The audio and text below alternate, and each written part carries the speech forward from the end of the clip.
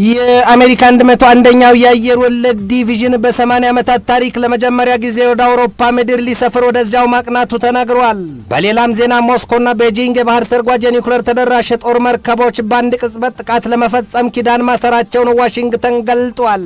ሩሲያ ከ2000 በላይ አዲስ የጦር ኃይሏን ለከባድ ጥቃት ወደ ኬርሶን ግዛት ማስገባቷ ታውቋል። ክሬምሊን ለሰላም ስምምነት ምንም አይነት አዝማሚያ አይታይበትም ስትል አሜሪካ ልሃንቋታል። ይህንን ርዕሰ ጉዳይ ለዓለም አቀፉ ትንታኔ ዘገባችንም መርጠን አሰናድተነዋል። ከትንታኔ ዘገባው ጋር ትዕግስቱ በቀለ ነኝ። በሩሲያና በዩክሬን ጦርነት የተነሳ ዓለም ቶሎ እንዳትጠራ ሆና ተበጥብጣለች። የዓለም ሀያላን በሁለት ጎራ ተከፍለው በምድሪቱ ያለውን ኃይላቸውን ቢሉ ጥበባቸውን አሟጠው ቢያፈጡም ከእሳት ውጭ ለዓለም ጠብ ያደረጉላት የሰላም አየር የለም።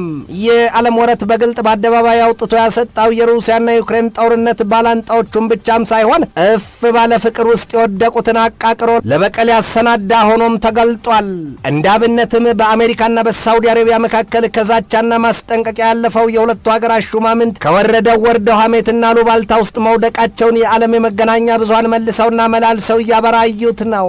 ምዕራባውያኑ በሚል ጥቅል መጠሪያ የሚጠቀለሉት አሜሪካ መራሾቹ ሀብታምና ሀያላን የአውሮፓ መንግስታት እንኳንስ በሌሎች ሀገራት የውስጥ ጉዳይ ቀርቶ አቻነን በሚሉት በራሳቸውም ተማምነው አያውቁም። እርስ በርስ መዘራጠጣቸው ይገለጣል። ምዕራባውያኑን በፊት አውራሪነት የምትመራው አሜሪካ ሹማምንቶቿ ለዓለም የሚበጅ አስታራቂነትም ይሁን ሚዛናዊ የግልግል ቢሉ ፍትህን አያውቁም። ለዚህ ደግሞ ስለ አሜሪካ ባህሪ ከፍልስጤማውያን በላይ ሊናገር የሚችል ማንም የለም።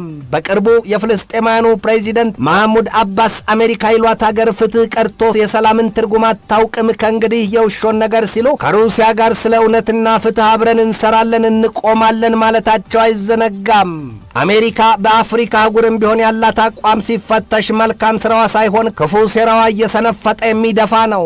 አሜሪካ በኢትዮጵያው የህዳሴ ግድብ ዙሪያ አናቷ ላይ የተቀመጡት ሰው ፕሬዚደንት ዶናልድ ትራምፕ ምን ቸገረን ግብፅ ግድቡን ትንደዋለች ሲሉ የተናገሩት ትዕቢት ያጨፈገገው ንግግራቸው አይዘነጋም። ትራምፕ በዚያ ሉጋም አልባው በሆነው የስልጣን ሽምጥ የገደል አፋፍ ግልቢያቸው ፈረሳቸው በገዛ ህዝባቸው ጥላቻና ተቃውሞ ተሰንክሎ አወረደና ጣላቸው እንጂ በዚያ በአጭር ዘመን የስልጣን ጊዜያቸውም ቢሆን የኢየሩሳሌምን ከተማና የጎላን ኮረብታማ ስፍራዎችን ለእስራኤል መስጠታቸው የዚያች አገር ባለስልጣናት አጋጣሚ ቀንቷቸው ዋይት ሀውስ ከገቡ ምን ያህል በሰው ቁስል እንጨት ስደድበትን እንደሚተገብሩት የሚያሳይ ሀቅ ሆኗል። አሜሪካ ዛሬም በመላው ዓለም ሰላም እያለች ጥላቻና ጦርነትን ትተገብራለች ይሏታል። በእርግጥም በየትኛውም የዓለም ክፍል የአሜሪካ ስም በክፉ ስራዋ ሳይነሳ ውሎ አያድርም የሚለውን ሀሳብ ብዙዎች ይስማሙበታል።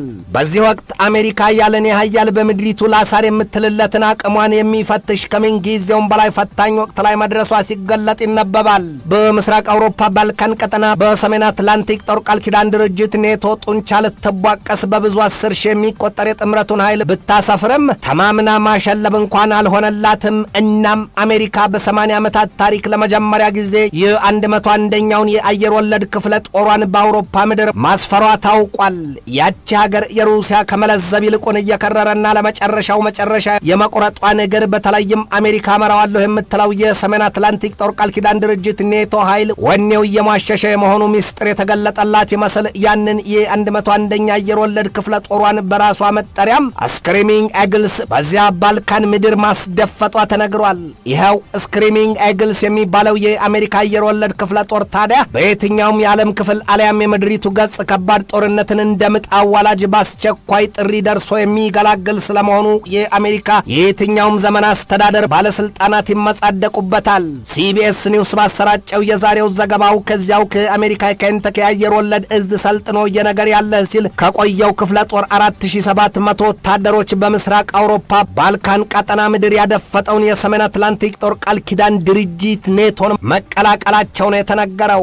የስክሪሚንግ ኤግልስ አዛዦች ለሲቢኤስ ኒውስ በሰጡት ማብራሪያ የአየር ወለድ ክፍለ ጦሩ ሌት ከቀን ከሩሲያ ጋር ሊዋጋ በጥፍሩ ቆሞ እየተቁነጠነጠ መሆኑን በቁጣ አስረድተዋል። እንደ አሜሪካ መንግስት ፖለቲከኞች የቁጭት ማብራሪያ ታዲያ ከባለፉት ስምንት ወራት ዓመታት በፊት ሩሲያ በሕገ ወጥ መንገድ የዩክሬንን መሬት ይዛለች፣ ከዚህ በኋላ ግን ሌላ መቀጠል የለባትም ነው ያሉት። በሌላም ዜና የአሜሪካው የውጭ ጉዳይ ሚኒስትር አንቶኒ ብሊንከን ክሬምሊን ትርጉም ያለው የሰላም ስምምነት ላይ ለመድረስ ምንም አይነት ምልክት አላሳየም ሲሉ ገልጠዋል።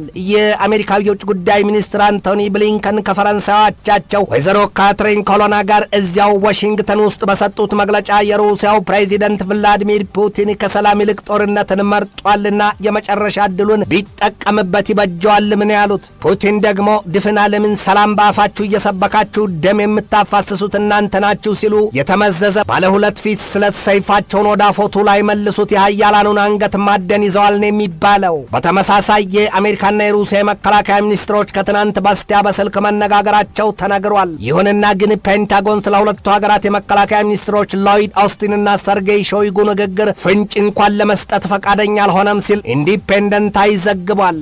ይህ በእንዲህ እንዳለ በሞስኮውና በቤይጂንግ መካከል የኒውክለር ጦር መሳሪያ የመጠቀም መብት ስምምነት መኖሩን ለመጀመሪያ ጊዜ ደረሱበት ስትል አሜሪካ አስታውቃለች። የአሜሪካ ጦር ይህንን ምስጢር ያለ ጊዜው ለማውጣት ያስገደደው ባለፈው ሳምንት አርብ ዕለት የባለስቲክ ሚሳይል የታጠቀችዋ የባህር ሰርጓጅ የጦር መርከቡን በአረቢያ ባህር ለማስፈር ያበቃው ይኸው የሩሲያና የቻይና የጋራ የኒውክለር ተደራሽ የባህር ሰርጓጅ የጦር መርከቦች በአሜሪካ ላይ የተቀናጀና የማያንሰራራ ጥቃት ለመሰንዘር መሰናዳታቸውን ተከትሎ መሆኑን በመካከለኛው ምስራቅ የአሜሪካ ጦር ኃይል አዛዡ ጀነራል ኤሪክ ኩሪላ ገልጠዋል። 242ኛ ቀኑን በያዘው የሩሲያና የዩክሬን ጦርነት ከ2000 በላይ አዲስ የሩሲያ ጦር ኃይል አባላት ለመጨረሻ ዩክሬን መድረሳቸውን የወርልድ ክራንች ዘገባ ያስረዳል። ዩክሬን ከሰማይ ከምድር ከባህርና ከየብስ እጅግ ከባድ በሆነ እሳት ውርጅብኝ መቆላቷን የተነገረው ስካይ ኒውስ ትናንት ቀትር ላይ በሰበር ባሰራጨው ዘገባው ደግሞ ሩሲያ በዩክሬን የገባችበትን ጦርነት በአሸናፊነት ለመወጣት ቭላዲሚር ፑቲን ከ10 እስከ 20 ሚሊዮን ወታደሮቻቸውን ያስገብራቸዋል ነው ያለው። ስካይ ኒውስ የቀድሞውን የሩሲያን ዲፕሎማት ቦሪስ ቦንዳሬቭን እማኝ አድርጎ በሰራው ዜናው ፑቲን ሁሉንም ዩክሬናውያን አንድም ሳያስቀሩ ለመጨረስ አስበው ከሆነ ከ10 እስከ 20 ሚሊዮን ነበልባል ጦራቸውን ያስፈጃሉ ነው ያለው። ዓለምን በተለያዩ ክፍሎቿና ማዕዘኖቿ ለዚህ መሰል ውል አልባ ቋጠሮና ከምጣኔ ሀብቷ ውድመት በላይ ለሰው ልጆች እልቂት ያበቃት የአሜሪካ መራሹ ምዕራባውያኑ ውስብስብ ሴራና ቋጠሮ ስለመሆኑ ብዙዎችን ያስማማ ጉዳይ ሆኗል። አሜሪካ ከድሃዎቹ እስከ ሀብታሞቹ፣ ከደካሞቹ እስከ ሀያላኑ፣ ከስልጡኖቹ ሁሉንም ባንድ የክብሪት ቀፎ እንዳለ ድማሚት ቆልፋ ለመያዝ ያሰላችው ቀመራ ሊዛል ሰላ ብሏት እየተዝረከረከ የእሳቱም የአሲዱም ዳፋው ራሷን ለጥፋት ዳርጓታል። ትንታኔ ዘገባውን ስናዘጋጅ በዋቢነት ኒውስ ዊክን፣ ኒውስ ማክስን፣ ቮይስ ኦፍ አሜሪካና ስታርስ ኤንድ ስትራይፕስን ተጠቅመናል።